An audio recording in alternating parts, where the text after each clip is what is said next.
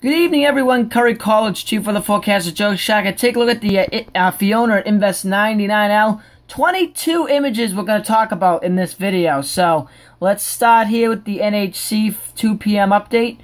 50% chance for 99L, and this is going to become 90L, and that's a 30% chance over the next five days. So there's the NHC five-day cone.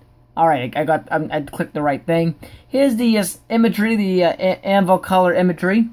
You can see Fiona up there around 20 degrees north, 50, uh, 45 degree west, 45 degrees west. And here's Invest 99L off to the southeast. Here's a image that I drew. I'm going to zoom out here so you can see. This actually came out pretty good with my drawing thing, fresh paint. And I did a couple of things here, and I think the colors came out pretty good. Uh, so here's Fiona. Uh, here's where I think it's going to be. It's going to track off the northwest. This is barely a tropical storm.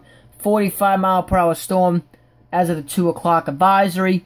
This is going to track northwest, and I think it's going to be somewhere within this area. I wanted to make this one big box, but I uh, clicked the wrong thing, and I made two boxes. But it's going to be northeast of Bermuda in about four to six days as probably a very weak tropical storm, if still being named a tropical storm in, over, the, over the weekend and early next week. So that will be the rest of Fiona. His 99L right here. And this is going to come across, and I did this about 24 to 36 hour intervals. And then after that, I started spacing it out. But you can see here, 99L is going to continue moving west.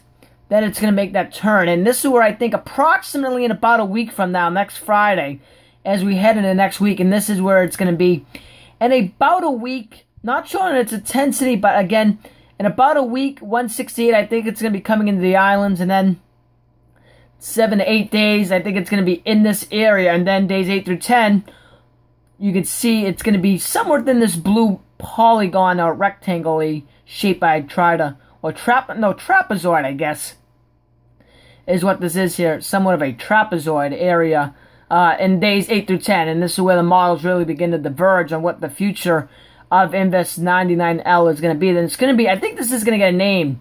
Uh, it's going to be named Gaston, but it depends on the intensity of what this thing is. And we're going to take a look here at the model forecast that I we've seen from this. But this is going to move off to the west-northwest, and then I stopped it here because I do not know what the heck is going to happen. If it goes into the Gulf or it goes up the East Coast, I can't say. But days 8 through 10, look for a tropical cyclone to be in the Bahamas, into the islands, and nearby to the coast of Florida. And I forgot to add it again. I'll do it in the next video. We got 88 to 90 degree water in here, so we gotta really, really watch anything that comes in here. And over here is 90 I wasn't able to get, it wasn't available on the image, satellite image.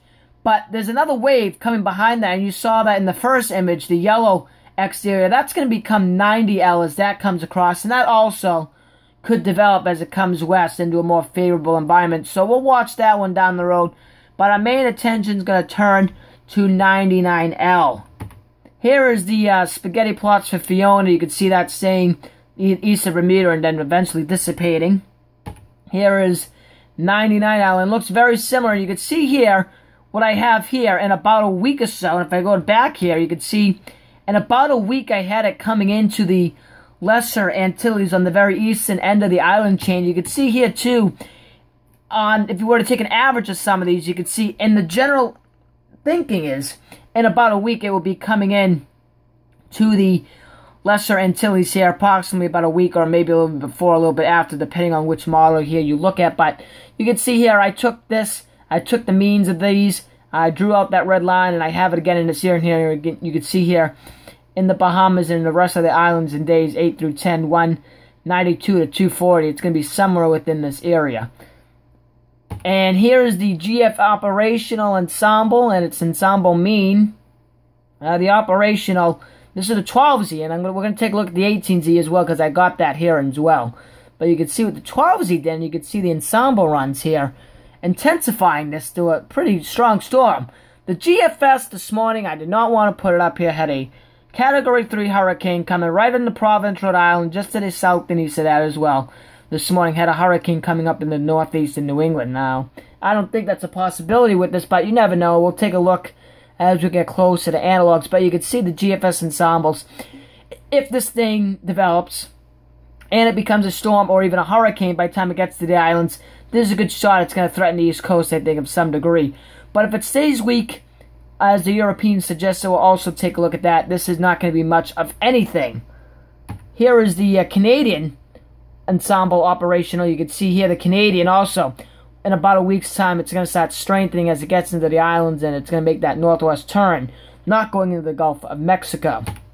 Here is the 18Z GFS forecast now for a Sunday morning. You can see here nine. Uh, this is uh, what's left of Fiona, where the mouse is, the arrow is.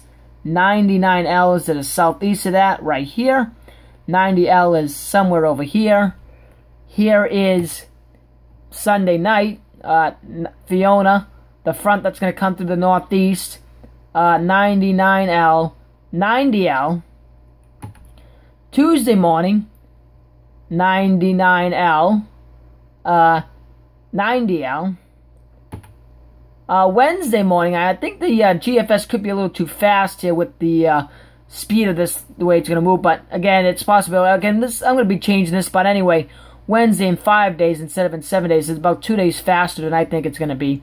Anyway, has a storm in here, and here's 90 out behind it. Here is Wednesday night, Thursday. 99L is here in the Baha, uh, getting into the southeastern islands here. Here's 90L. Here is Thursday, I mean Wednesday night, uh, 0 Z Thursday, I shifted over here. You can see 99L is in the uh, Lesser Antilles, in the Antilles. Thursday afternoon, it's here developing. Here it is Friday morning. It's a 1001. This is a tropical storm, a full blown tropical storm at this point, coming into the Bahamas. Here is Friday night, uh, 995. Here is Saturday next weekend, 994.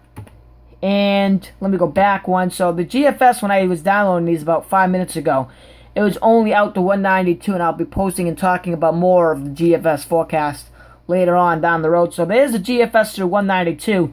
Looks pretty similar, and it's in the exact same area where this, again, if this is, if this is correct, just saying if this is correct, this is going to be a problem for the Northeast and East Coast in general, because this could be a very, very impactful system. If the GFS and its ensembles are right and we have a tropical cyclone in the Bahamas in about a week to eight days, that is going to certainly be something we need to pay very close attention to here along the East Coast, and maybe even especially the Northeast. But the European, on a different note, does not develop either of these, really. So let's take a look. Here is 99L right here. It doesn't even have 90L really. Maybe it's somewhere in here. But you can see what it has for 99L here. Here is Sunday morning. Here is really what's going to be Fiona at, the, at that point, and it's somewhere with it in there. Then you can see here Tuesday. Here is probably 90L. Here's 99L is a very weak wave. Here is it on Friday, and then this here comes out and gets pulled up in here. This is not, and Fiona, I mean not Fiona, Fiona's gone. Uh, what would be Gaston is somewhere in here, barely even noticeable on the on the model, and then develops uh, what's going to be Hermine that comes after Gaston, and maybe that will head out towards Bermuda. But whatever, I think 90, I haven't seen the new running the ensembles yet, but 99L is going to be in here. But you can obviously see the European model does not develop this at all, and it's going to be very, very interesting to see who wins the race. The Canadian, which develops it, the GFS, which develops it, and the European, which not many of its ensemble members, at least this morning, developed, and neither does the operational model develop it at all.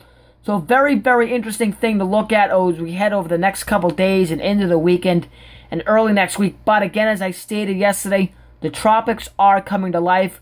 We're going to probably see two or three more additional named systems, probably by Labor Day weekend here in the Atlantic Basin. That's it for now, and thank you for watching.